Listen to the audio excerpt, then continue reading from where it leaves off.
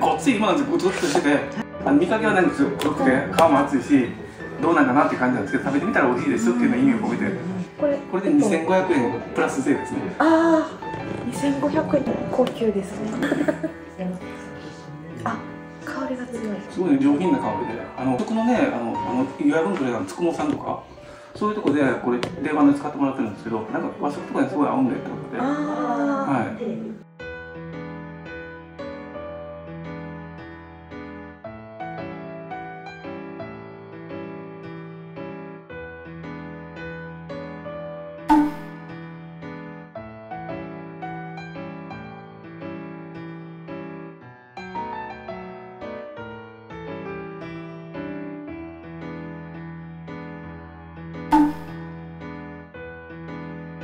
や甘いです。よ甘いですけどこれはちょっと進んじゃうんで。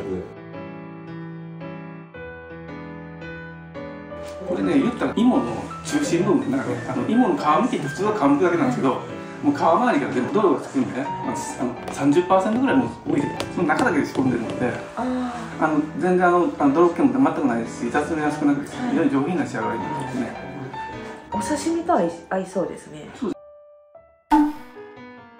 とカーブもあったな。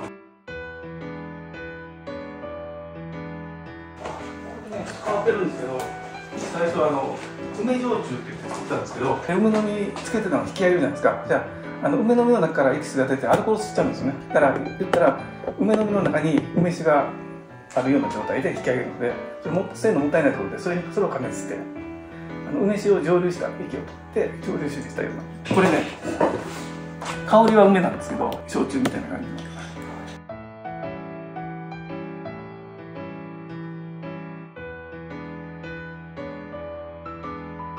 のだから種類的にはスピリッツ焼酎の分類にならないので、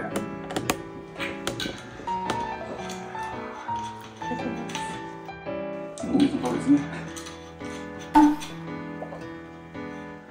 あすごい梅です。うん、梅の香りはするんですけど甘みはゼロですね。はい。